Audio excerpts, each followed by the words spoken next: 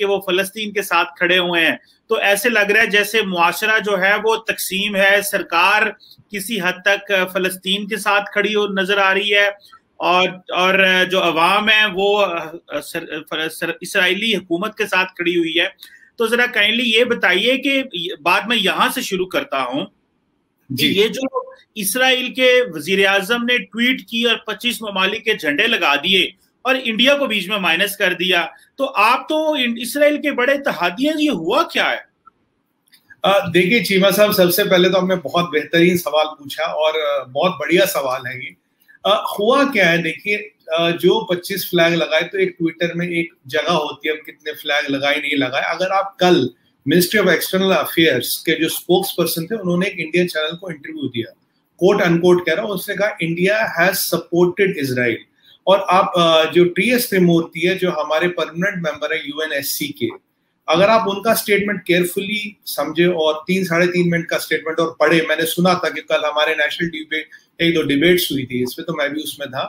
तो देखिए, जहाँ तक पैलेस्टाइन की बात है, हमारा स्टैंड पैलेस्टाइन पे बिल्कुल नहीं बदला पैलेस्टाइन के दो हिस्से है, चीमा साहब। पहला हिस्सा है वेस्ट बैंक दूसरा हिस्सा है गाजा और मोदी जी जब इसराइल गए थे, वो पैलेस्टाइन गए थे, वो वेस्ट बैंक गए थे, वो महमूद अब्बास साहब से मिलने गए थे। हम गाजा नहीं गए थे क्योंकि हमस की गवर्नमेंट को हम नहीं मानते।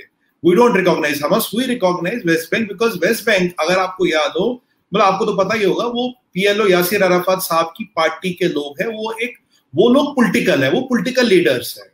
और अराफत, और हम पहली कंट्री थे पूरे एशिया में जिसने पैलेस्टीन की एम्बेसी इंडिया में खोली थी।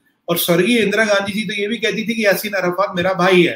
तो हमारा स्टेट आज भी पैलेस्टाइन के साथ है पैलेस्टाइन लोगों के साथ है, पर हम हमस को और गाजा को नहीं मानते। अब जो हमारे टी एस त्रिमूर्ति जी अगर आप उनका स्टेटमेंट सुनोगे, उन्होंने कहा था we condemn rocket attacks by Hamas on Israel and the retaliation of जो and what Israel is doing is retaliation to these attacks retaliation का वर्ड यूज़ किया जाता है अनप्रोवोक्ड एक्शन अगर आप अनप्रोवोक्ड एक्शन करेंगे तो मैं उसको रिटेलिएट करूँगा। और, और उन्होंने ये भी क्लियरली बोला कि भाई ये रॉकेट अटैक रुकने चाहिए for the peace to prevail and last का उनका सेंटेंस था quote end quote we are for the just cause of Palestine just is justified और लेजिटिमेट कॉज ऑफ़ पैलेस्टाइन जो हम शुरू से कह रहे हैं।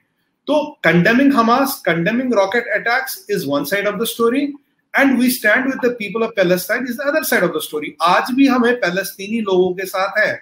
हमें उनका दर्द है।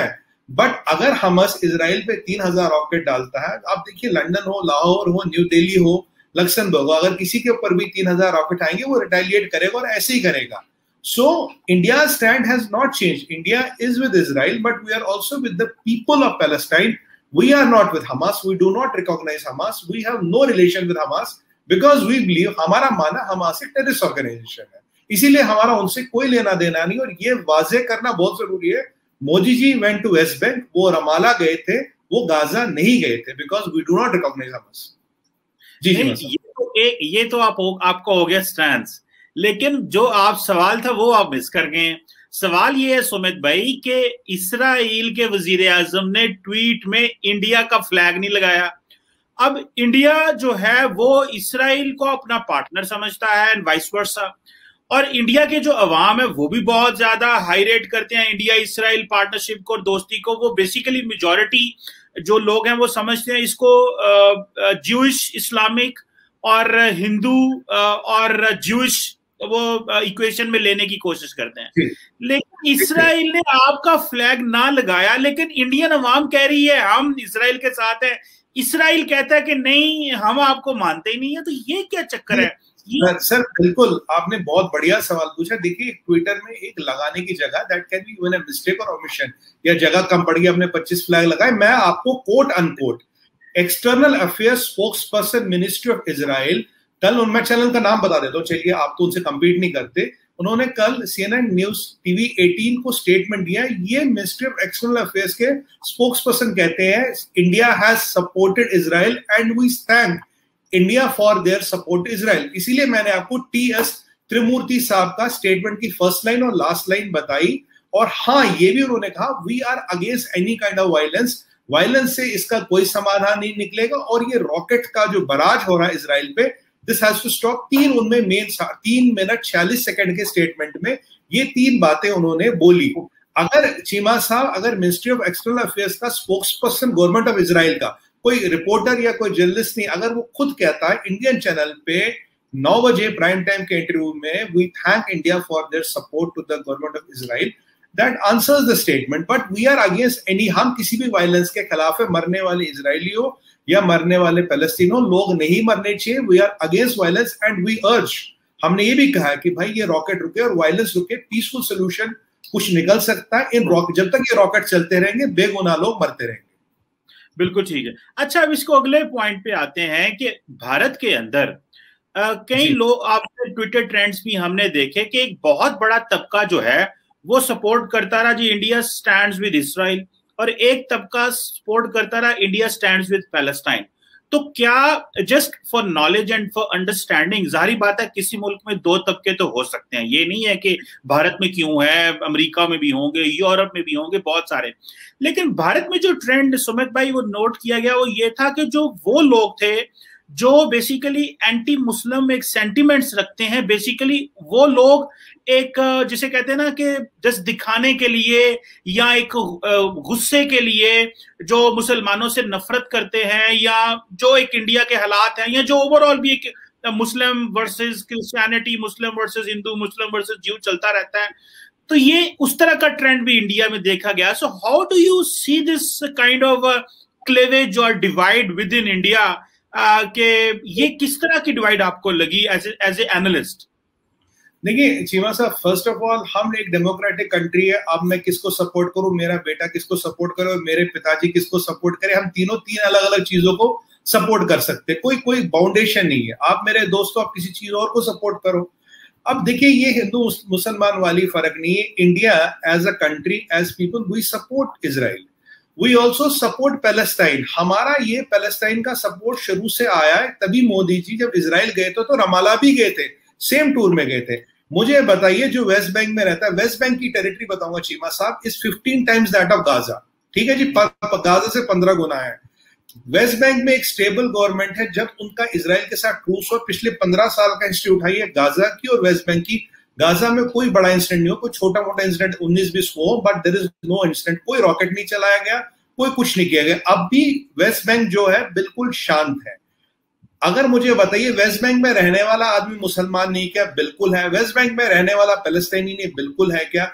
और जो गाजा में रहता, वो भी पैलेस्तीनी है। हम उसको भी सपोर्ट करते हैं। हमारा जो विरोध है, हमारा जो सपोर्ट नहीं है, हम जिसको रिकॉग्नाइज नहीं करते, हम वेस्ट बैंक की गवर्नमेंट को भी रिकॉग्नाइज करते हैं। उनकी एमएससी यहाँ पे। हम हमास को हमारी तकलीफ़ है उसको हमारी हमास सुमित भाई वो तो टॉपिक वो ठीक है वो आपका एक पर्सपेक्टिव आ गया भारत की रियासत का पर्सपेक्टिव आ गया। क्वेश्चन ये है कि जो हिंदू नेशनलिस्ट हैं मैं इसको हम्म। थोड़ा मजीद उसके अंदर चला जाऊँ। मैंने तो मैंने तो वो ये नहीं है कि मैंने तो पहले ही मान लिया कि किसी मुल्क में दो तबके हो सकते हैं मल्टीपल भी हो सकते हैं। वो वो पॉइंट नहीं है। लेकिन ये एक तासुर आ रहा है कि जिस तरह इंटरनेशनल प्रेस ने इसको बड़ा कवर किया है कि ये जो जो हिंदू नेशनलिस्ट हैं दे आर सपोर्टिंग जूस और जूस स्टेट और इसराइल जस्ट बिकॉज़ के वो एक जो मुसलमानों की नफरत के हवाले से। जैसे कंगना रेनॉल्ड ने भी जो स्टेटमेंट्स दी और जो जिस तरह की उन्होंने बातें की। So how do you see this कि ये प्रिज्म है इंडिया के अंदर कि हिंदू नेशनलिस्ट जैसे कि मिसाल के तौर पे मैं बहुत सारे इंडिया के लोगों को देख रहा था जो ये कह रहे थे कि देखें इसराइल ने एसोसिएटेड प्रेस और अल जजीरा की बिल्डिंग्स गिरा दी और उनको परवाह तक नहीं है और हमारी सरकार जो है वो डरती रहती है मीडिया से। सो so, ये जो सेंटिमेंट्स थे मैं इनकी बात कर रहा हूँ। How do you see this sentiments in India देखिए चीमा साहब डेमोक्रेसी में हर एक को अपना इतफाक राय या इजहार राय करने का पूरा हक है। अब कंगना रनौत जी क्या कहती वो जाने क्योंकि मैं उनके बारे में मैं उनके बारे में कुछ बोल नहीं पाऊँगा, उनका थॉट प्रोसेस क्या है? मैं आपके चैनल पे बोल रहा हूँ, मैं आपके एक और साथी उनके चैनल पे बोल चुका हूँ, अपने नेशनल टीवी पे बोल रहा हूँ। देखिए, ऐसा हिंदू, मुस्लिम वगैरह वाला कोई झगड़ा नहीं। इसराइल हमारा दोस्त था, हमारी हमेशा से हेल्प की अभी भी इसराइल ने हमारी हेल्प की है। पर जहाँ ह्यूमैनिटेरियन कॉज आता, जहाँ इंसानियत का तवा वो क्या कहते हैं उसे तवाजिया या whatever you call it एक इंसानियत का सवाल आता we are also with Palestine ऐसा कुछ नहीं भाई कि वो ज्यूज हम उनको सपोर्ट करें या हम मुसलमान उनको सपोर्ट करें। मुझे बताइए, आपको पूरे इंडियन मीडिया में इंडियन ट्विटर में सोशल मीडिया में एक भी चीज़ मिली जो वेस्ट बैंक के खिलाफ लिखी गई? नहीं लिखी गई। वेस्ट बैंक में पैलेस्तीनी क्या, नहीं क्या? वेस्ट बैंक में मुसलमान नहीं क्या? दोनों है।